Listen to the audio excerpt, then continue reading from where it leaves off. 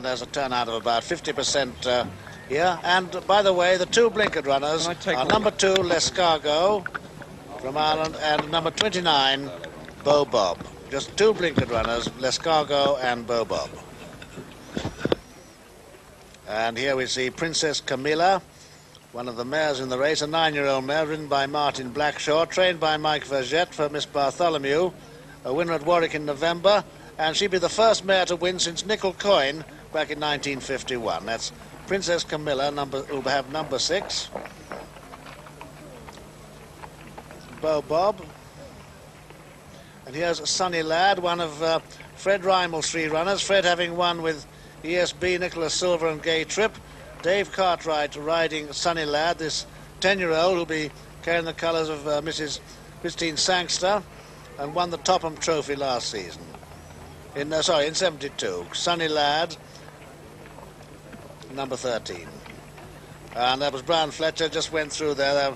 Making their way out, all 42 of them, from the, uh, the weighing room. Was Martin Blackshaw, Mouse Morris,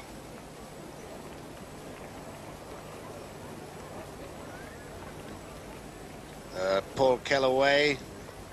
Here comes Tommy Carberry in the hoop colours of uh, Mr. Raymond Guest. Um, John Hayne. And uh, you'll notice that the three um, colours, all very similar, those of the three runners for Edward Courage, ridden by Lord Oaksey. We haven't seen him come through yet. Here comes Chris Collins, who'll be easily the tallest rider. There's Lord Oaksey, John Oaksey. He's, of course, on Royal Relief. There'll be Bill Smith on Spanish Steps and Graham Thorner. And here's the Duke of Albuquerque with his damaged collarbone. we just have another look at him, I wonder? Just follow him because he doesn't look at all fit to take part in one of the greatest steeplechases in the world. But there he is, 55-year-old Duke of Albuquerque, and he's past the vet. There he is. Speaks very little uh, Spanish, and I believe Fred Winter's not here to support him. I think Fred's had to go to uh, Towcester to, to, supervise his runners there. And the Duke, of course, riding Nereo, the Spanish-bred horse of its own breeding, uh, that ran third behind the Dikler. And uh, here we see the blinkers on him now.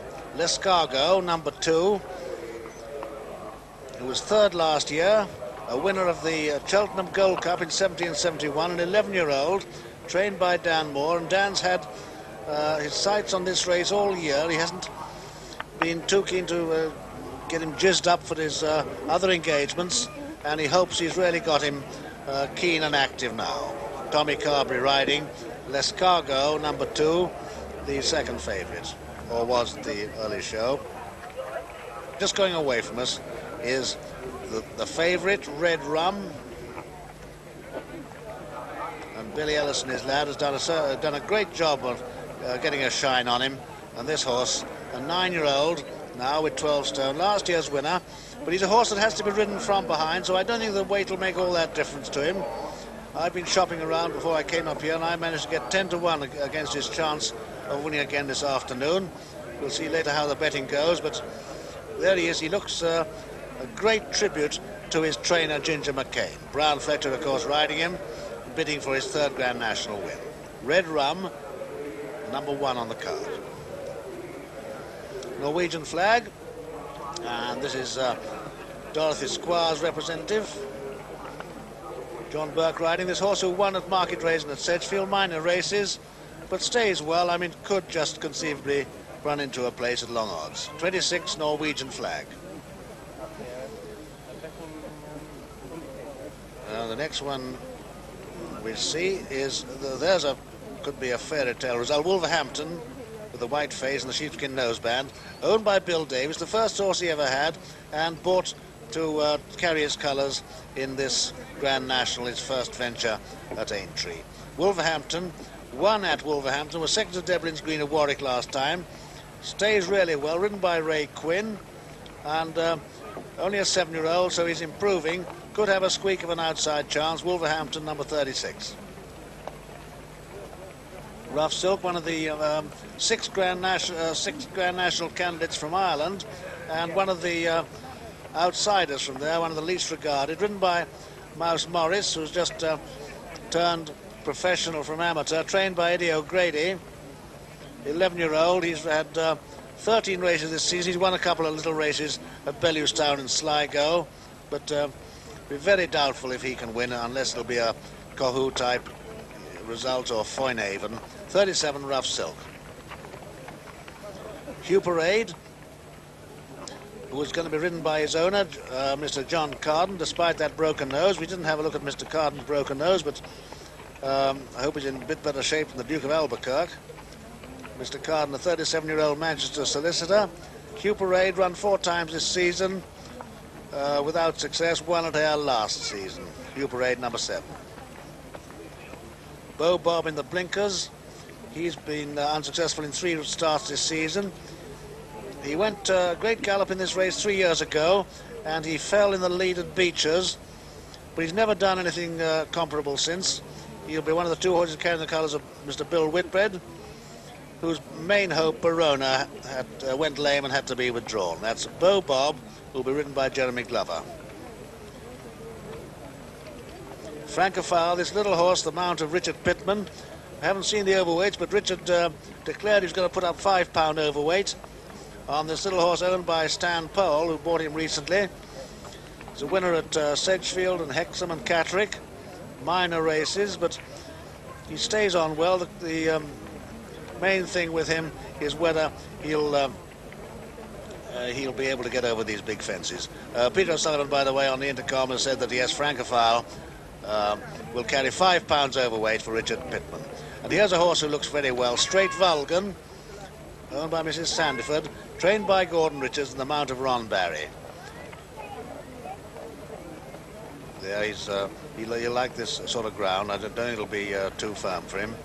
And uh, Gordon Richards got him looking a picture. Second last time out, and he won early in the season.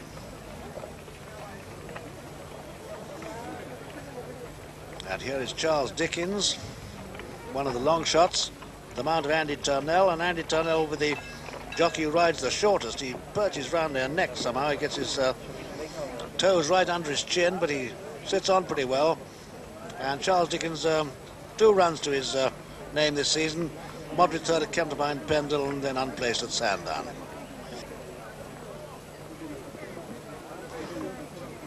Argent, another horse who hasn't uh, shown much uh, this season, just three races. He fell at Haydock and he was unplaced at Wetherby and Nottingham. He was trained in Ireland, where he won at Leopardstown last season. Quite a good horse there, but hasn't recaptured that form. Now with Eric Cousins uh, at Tarporley in Cheshire. And going to be ridden by Bobby Coonan, number three, Argent. And that's uh, John Oaksey, who was just beaten on um, Carrickbeg in 63, about to mount Royal Relief. This horse who won the two-mile champion chase at Cheltenham, now facing a, a distance double that uh, length. But a horse by Flush Royal, a Cesarewitch winner on the flat, and he should stay better than he does. I don't know quite why he doesn't appear to stay on park course. That's Peter Beckwith Smith, the clerk of the course, breathing a sigh of relief that everything has gone off according to Cocker.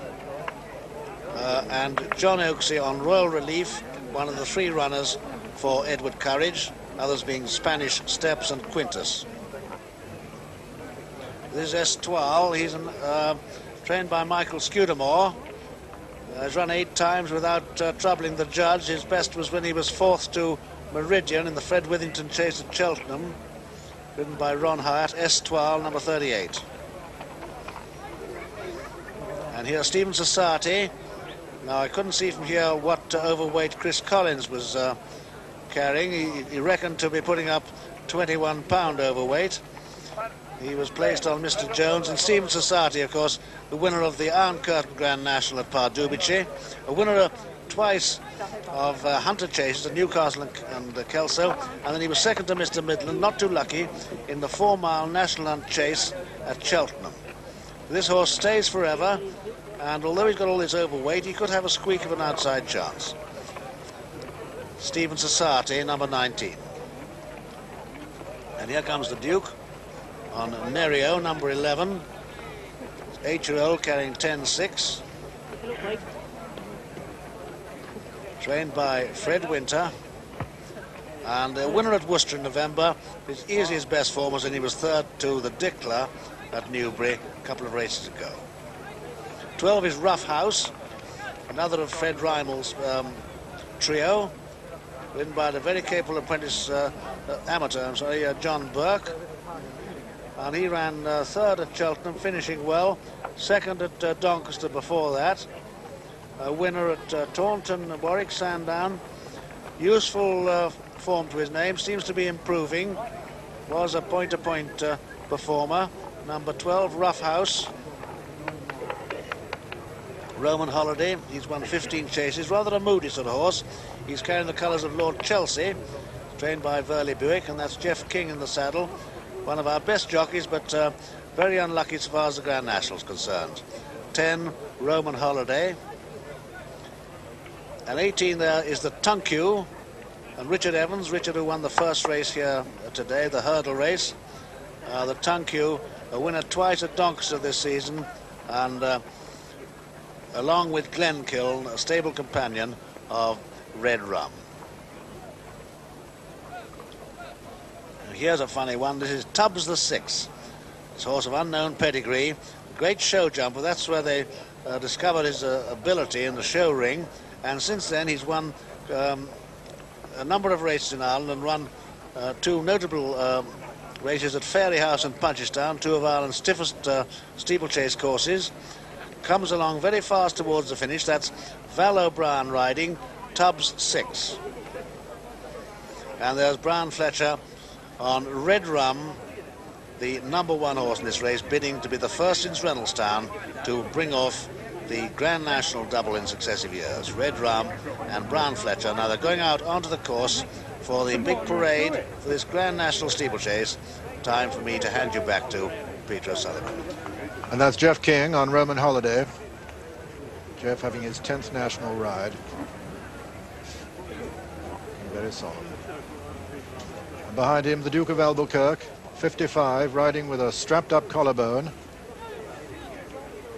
Behind him is Rough House, John Burke, 21, riding in his first national. That's Sunny Lad, Dave Cartwright, Dave Cartwright's fourth ride. He's 29. The cross belts there on Joe Guest. He's 41, riding Bahia Dorada. And Glenkiln, carrying the first colours of Noel le Mare rather than uh, Red Rum. 16 Shane. Shane Mann. Shane Mann behind him. Another Irish hope. The cross belts there was Pat Buckley. This is Paul Kelleway, though. Paul Kelleway on Cloudsmere. Richard Pitman on Francophile. This is Pearl of Montreal. Then Deblin's Green. Nigel Wakley. The cross belts there of Ken White on Rouge Autumn. And then Jimmy Burke in the star there of Dorothy Squires on Norwegian flag. That's Ascari. Pat Black, putting up two pounds overweight. That's Jeremy Glover. Behind him on Beau Bob. Jeremy, 29, on his first national ride. That's Beggar's Way. Beggar's Way, ridden by Vic Soane. It's his first national ride. And this is uh, another first national rider, amateur, Bill Jenks, who's 26, riding in his father's colours on Astbury. Astbury was having his fourth crack at the national, a real uh, regular here cross belts again. Wolverhampton, ridden by Ray Quinn, who's 30 today, and having his first national ride. And this is Rough Silk. Rough Silk and Mouse Morris, Lord Killanin's son, having his second ride in the national. He's 22. That's Collar Hill. Collar Hill and uh, Norton Brooks putting up uh, eight pounds overweight. Mildor, Jimmy McNaught, is 37, having his second national ride. Dunno and uh, Richard Mitchell, 25, having his first national ride on his own horse. Horse he trains under permit himself. Well, I say his own horse, he belongs to his wife Elsie, really. And that's Go Continental, the veteran of the race, ridden by one of the juniors, 21-year-old John Southern, having his first ride in the National, and Go Continental, a 14-year-old, and running the last race of his career. Whatever happens, he's to be retired after this. And Red Rum standing quietly at the head of the parade. That's Dunno and Go Continental. Caracola just ahead of us. Red Rum 9 to 1, eased a point from 8 to 1. And L'Escargot now clear favourite at 8 to 1. Now the majority of them striding up to have a look at the first of the 30 fences. Well, this is uh, something that uh, Terry Biddlecombe, the noted former champion, has done frequently in the past. I wonder how you feel, Terry, at this point when uh, you go up to have a look at that first. Well, Peter, it's been some nationals um, I've never really sort of gone up to look at it. And other times you just go there just sort of to be curious. Um, it's really immaterial, actually. Think the horse is running very free to you go into the first to look at it. You, you, you, you do go and look at it. But if he, you know, if he pulls up before the road before you get there, um, you pull up and you don't bother to go there. Because when they look at it, it, make, it, it, it makes no difference really. Because that fence is going to be there whether you, you look at it or not. Yes, I can see that, Terry, sure. Yeah. I'm sure that the boys now, you know, their old tickers are still going, the butterflies are still flying around. But it won't be, met, you know, a few minutes before they're sort of under orders and everything sort of disappears. But I'm... I... And that, of course, was Terry Biddlecombe, who's looked back at those packed stands so often in the past before coming under orders. And as we see Red Rum, last year's winner, we note that uh, L'Escargot has now shortened to 7 to 1 favorite to foil this game little top weights bid to emulate the achievement of the last horse to win it in successive years, uh, Reynoldstown. And the odds against him achieving that feat are currently 10 to 1. Brian Fletcher, 26, on his sixth national partner.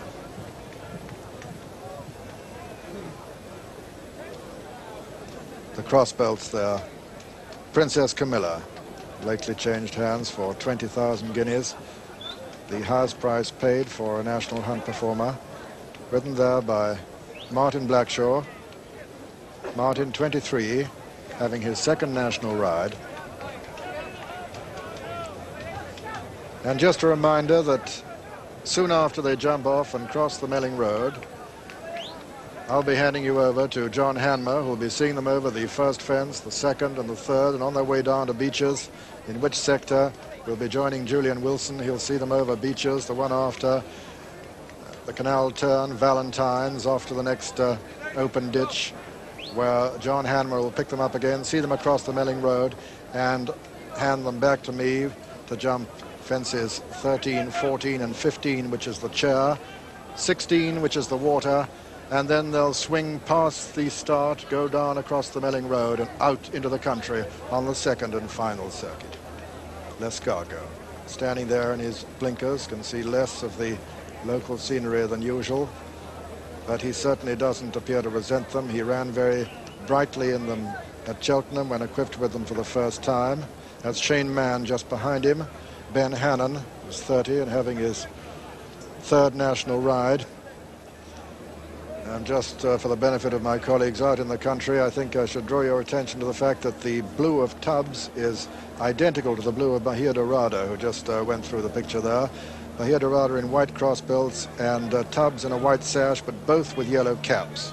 Uh, one little bit of help when they're traveling at uh, 30 miles an hour. I know it's not uh, the greatest uh, possible assistance, but Tubbs, in fact, has a sheepskin noseband.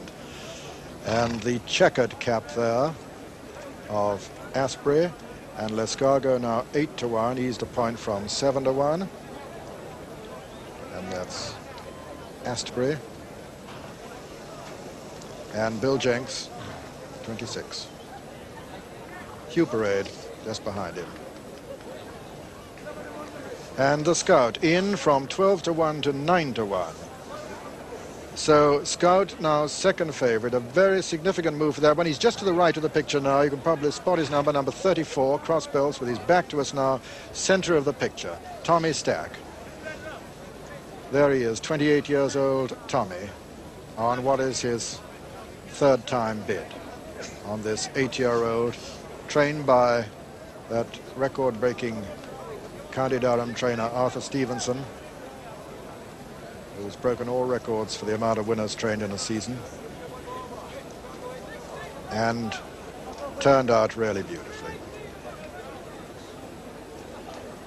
All milling now and it won't be long before the starter has these 42 under orders. He's just about to go across towards his rostrum, checking his watch that's Royal Relief, Lord Oaksey. And uh, Terry Biddlecombe just uh, tapping his heart here. He says this is where, where the ticking rate uh, really mounts. And now Scout 8 to 1 co-favorite with L'Escargot. So this uh, clearly the one they've come for. There he is, number 34, Scout, with the Tunku just beside him. And that's Tubbs, the sash. Charles Dickens. Deblin's Green with a broad seam. Dunno walking right. Behind Dunno is Red Rum. Gay Continental. Going Go Continental going left. Huperade, number seven. Shane Mann on his far side, the Tunku, the Sash. Charles Dickens walking right with Pearl of Montreal. Bahia Dorada on the far side, Straight Vulcan, the cross belts of San Falou, Colour Hill, the spotted cap, the star on the back of Mildor. That's Ascari in the halved colours, which were carried to a sensational success by Caughoo in 1947, 100 to 1 winner. Estoile, number 38.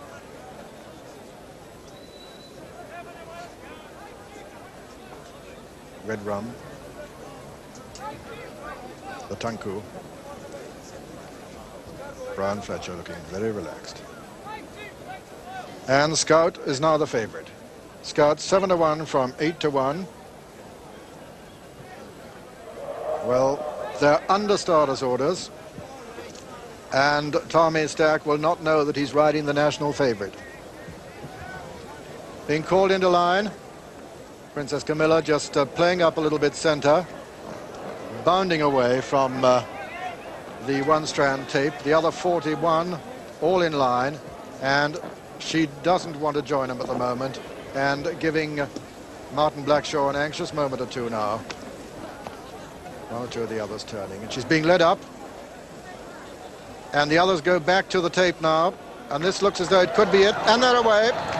And she's away all right, all away. Caracola just a little bit slow. And as they stream down towards the Melling Road, Sunny Lad, one of the first to show with Nereo towards the outside. Right up with them on the inner is Rouge Autumn. And then Bahia Dorada on the outside. And it's Bahia Dorada, Nereo, Sunny Lad and then Rouge Autumn, and behind them L'Escargot and Stephen Society. And that's the order as we join John Hanmer. It's Bahia Dorada in the lead from Straight Vulcan, then Ascari, then towards the outside, Pearl of Montreal, but Bahia Dorada jumps it first. The leaders are all over all right, but it's Royal Relief who's gone on the outside. Royal Relief, the faller at the first, and he's the only one, I think. As they go to the second, it's Bahia Dorada and Charles Dickens, then Rough Silk, then comes Ascari, and they're streaming over the second. They all look all right at the second, and as they go to the third, Charles Dickens, Bahia Dorada, then comes Rough Silk, then Sunny Lad, then Straight Vulcan, and it was Rough Silk who led over that. They're mostly over it all right, though there's one gone. Go Continental is down, and as they race towards the fourth with Rough Silk in the lead, over to Julian Wilson. Rough Silk, Bahia Dorada towards the inside, Charles Dickens towards the outside, and a faller there. The sixer has gone at that one, and Charles Dickens leads on the outside with Colour Hill right up with them on the outside with Pearl of Montreal. Towards the inside is Rough Silk, and over the fifth and over it. Charles Dickens over from Rough Silk over in second. Straight Vulcan's over in the third place. And Bahia Dorada, very, very bad mistake. And now being pulled up as the leaders run down to Becher's. And very few gone so far as they face up to Becher's. On the outside, Charles Dickens. On the inside is Rough Silk. Then comes of Montreal and Straight Vulcan and over Becher's. The field streaming over Becher's and almost all the horses have jumped it all right. In fact, I can't see one faller at Becher's. They're all over. Every single horse has jumped Becher's. Charles Dickens the leader from Rough Silk in second. Sunny Lad on the inside now goes up to dispute the lead. Sunny Lad with Charles Dickens. Rough Silk is third. Then on the inside is Rouge Autumn. Fifth on the outside is Straight Vulcan. Oh, they were all jumped that one. L'Escargot is next. Then comes Rough House and Cloudsmere. On the outside is Glenkiln as they come to the canal turn. Sunny Lad over first from Charles Dickens in second. Rouge Autumn is third. In fourth place on the outside the faller was Argent at the canal turn. Argent is a faller at the canal turn. There's another one gone as well. Caracola was a faller at the canal turn, and Huperade as well. And Deblin's Green was a faller at the canal turn, and over Valentine's at Valentine's Beggar's Way has refused as we rejoin John Hanmer. And it's Charles Dickens, Sunny Lad, and then on the outside Pearl of Montreal. Then comes Straight Vulcan, and they're being trapped by Rough Silk. But Charles Dickens just leads from Sunny Lad. Then comes Pearl of Montreal, and Shane Man is a faller, and Beau Bob has gone there and they're all streaming over that next fence. Among the back markers is Roman Holiday, but it's Charles Dickens just in the lead from Pearl of Montreal, Sunny Lad, Straight Vulcan, then Rough Silk, then comes Glenkiln and Spanish Steps and Rough House. Then comes L'Escargot going well. Behind him is Falcon then Mr. Collins on Stephen Society, going the shortest way on the inner, but Charles Dickens in the lead from Sunny Lad, L'Escargot. Behind L'Escargot is Pearl of Montreal, and over to Peter O'Sullivan. Still Charles Dickens from Sunny Lad, L'Escargot, Pearl of Montreal. Then Spanish Steps just in behind him with Vulcan Tarn and Straight Vulcan and San Falou and Glenkiln. And coming down to the next, and it's Pearl of Montreal, Charles Dickens, Sunny Lad, Glen Kiln, Spanish Steps, L'Escargot.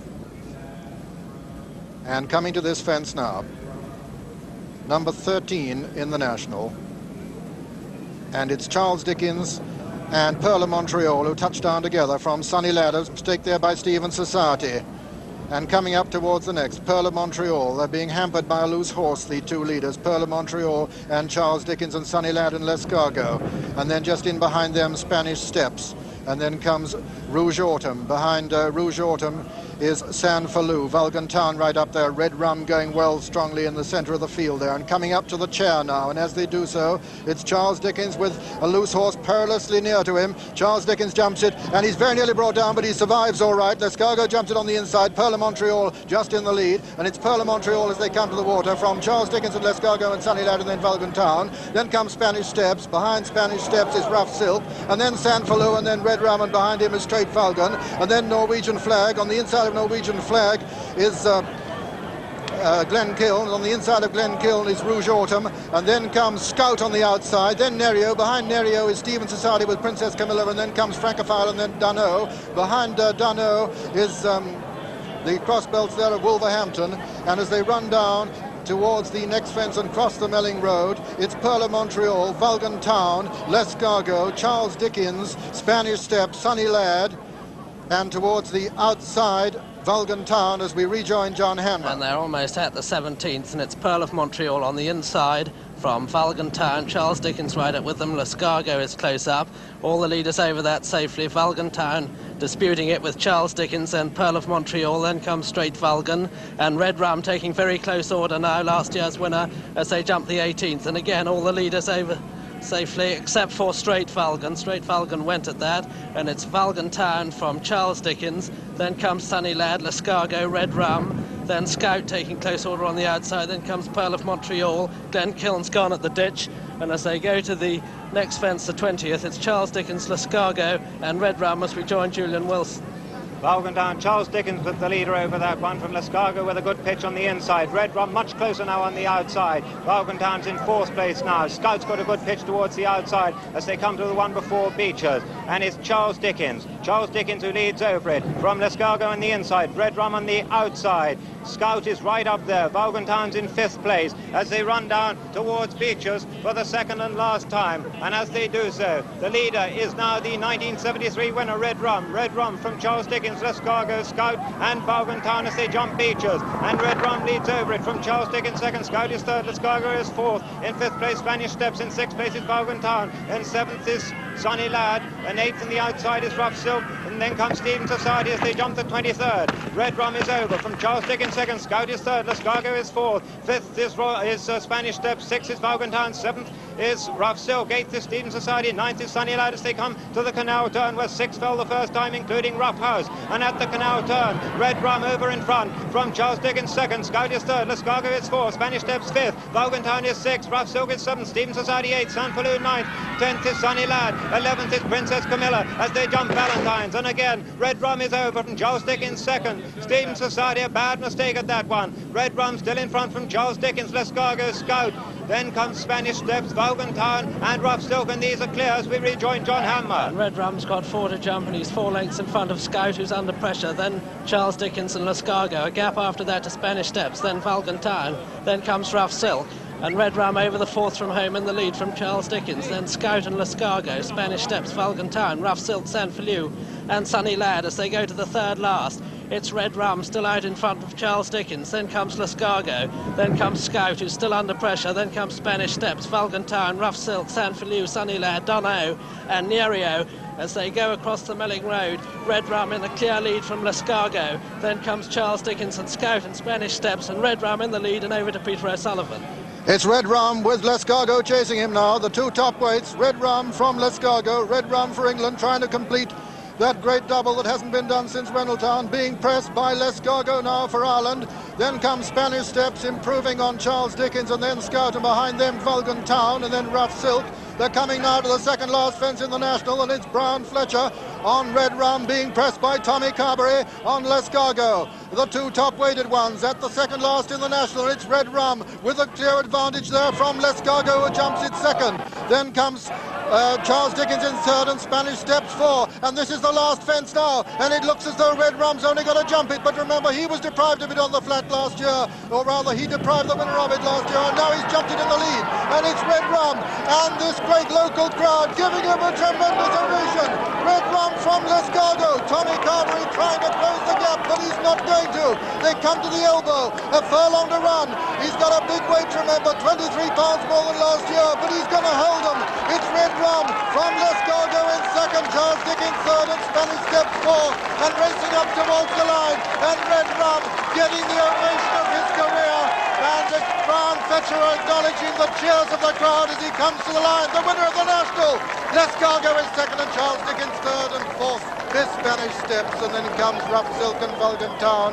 Behind them, Rouge Autumn, and then the gallant Duke of Albuquerque on Nereo, and behind him comes San Feliu, then Norwegian Flag, and then Scout and Dunno, and behind them come Quintus, and then Tubbs, and behind Tubbs Escari, and then Sunny Lad, and behind Sunny Lad is Princess Camilla, and those are the finishers.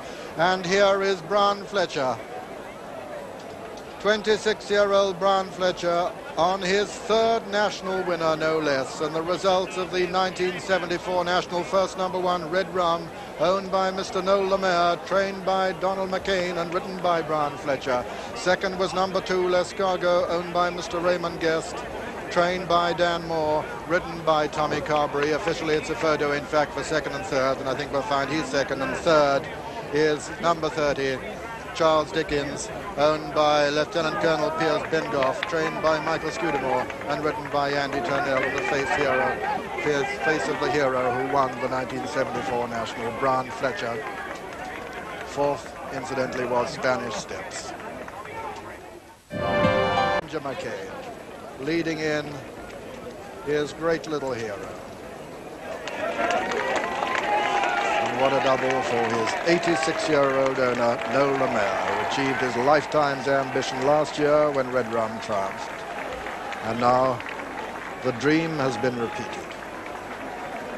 A gallant effort by L'Escargot, who was receiving one pound from Red Rum. But what a great horse he's proved himself today because he's beaten a dual Gold Cup winner, giving him weight. There's a man who is entitled to smile, and what a reception the crowds are giving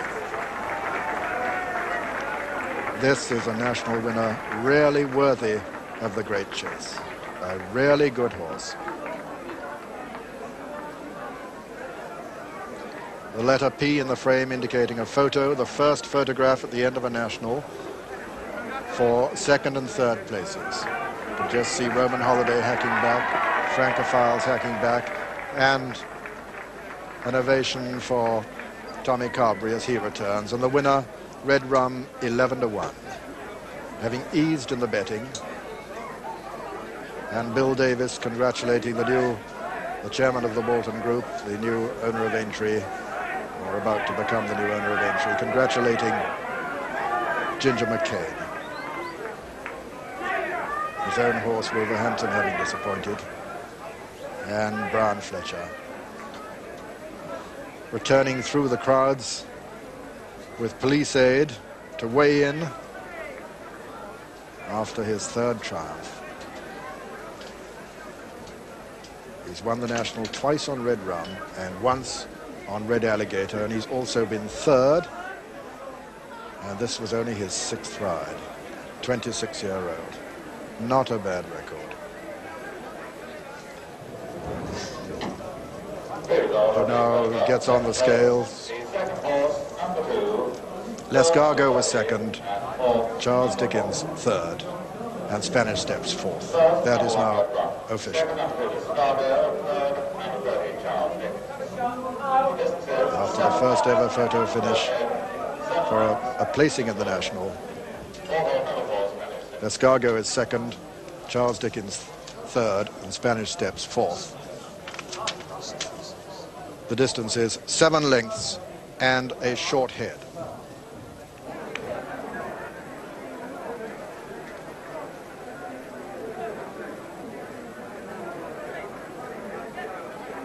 And did he suffer a little nick? His anxious attendants just having a look at him, but they don't seem very disturbed. What a great little horse.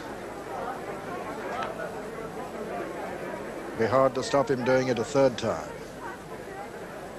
Clearly loves this place, his local course.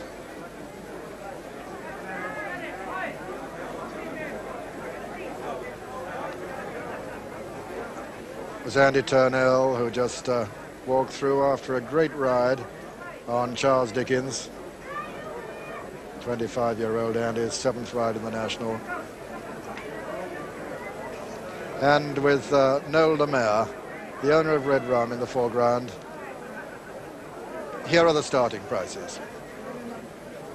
First, number one, Red Rum, 11 to 1.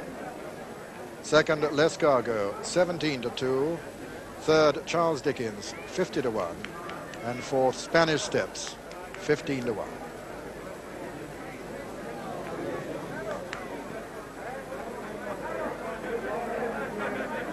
Well, now, in this unsaddling enclosure, a real piece of racing history. Mr. le Mare, the winning owner, second year in succession. It gets even better, doesn't it?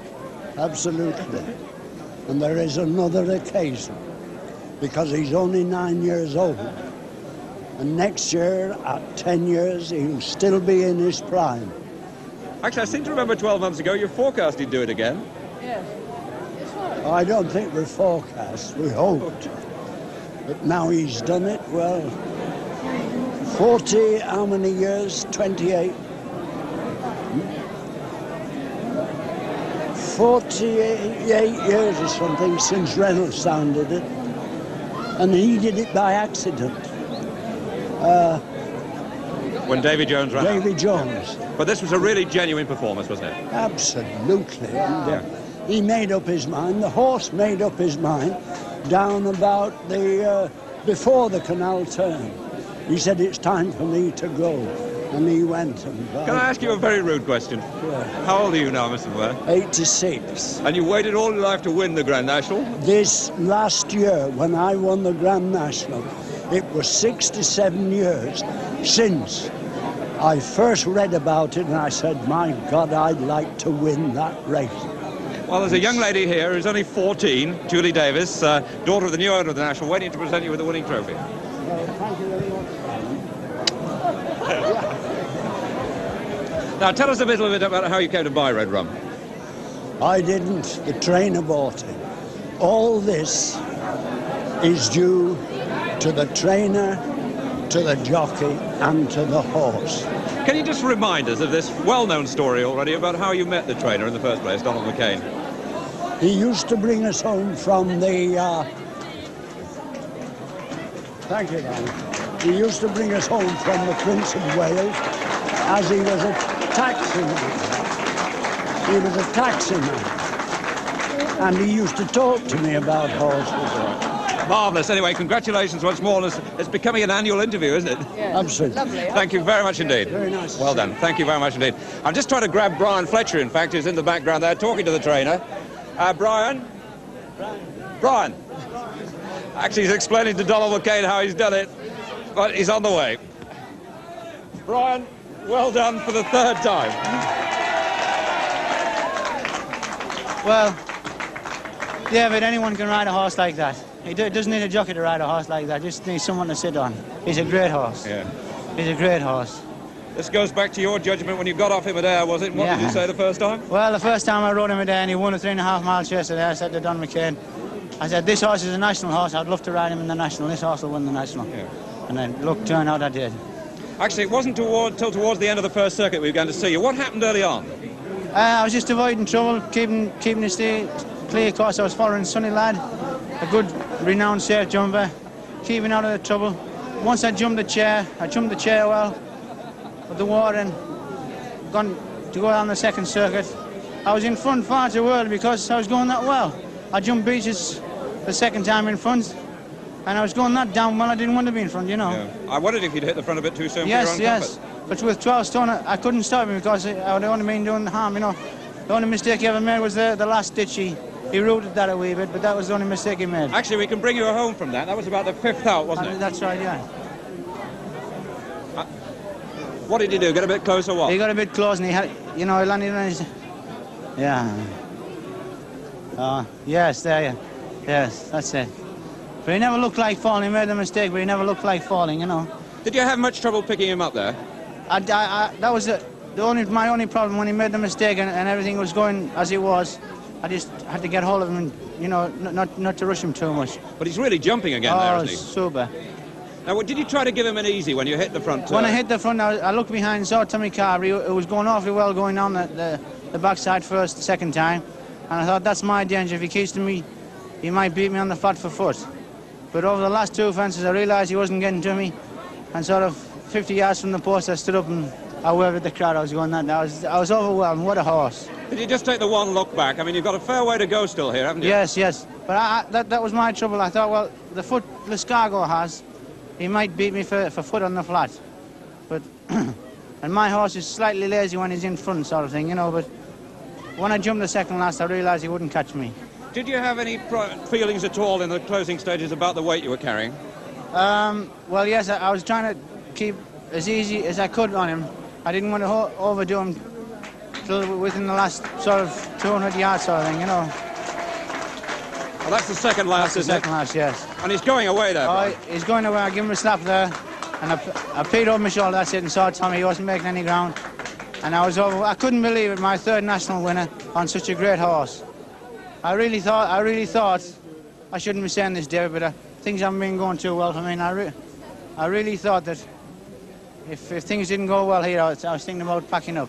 But uh, I mean, coming away up the hill there, he's fairly striding away, isn't he? He's so strong. Yeah, so it it was full of running. The only thing was that I, I was striking with idle in front. And when I realised I was in front, if you take a look, I stood up in the saddle and I was overwhelmed. I couldn't believe it. I was overwhelmed. I Well, was this is the third national one.